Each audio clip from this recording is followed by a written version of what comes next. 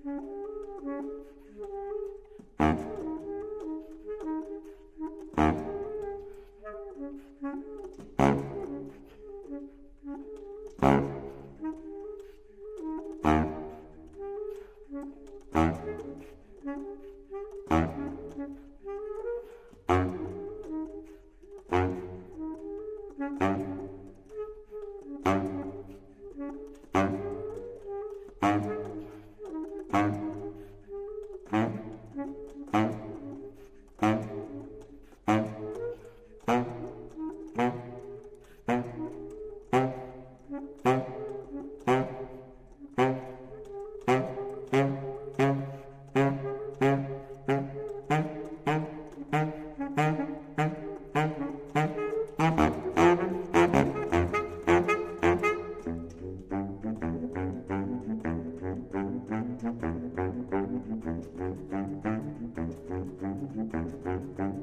Thank you.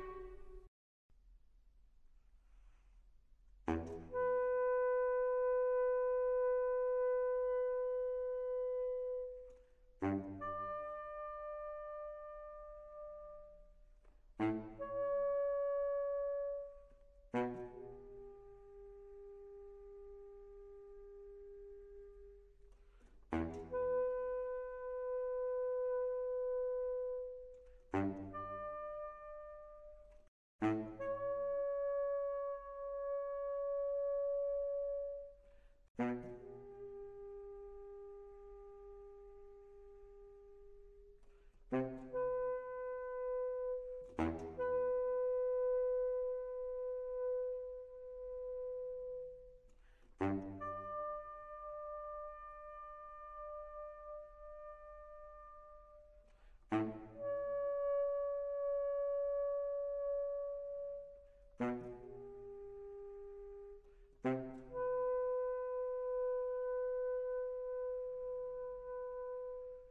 mm -hmm. you.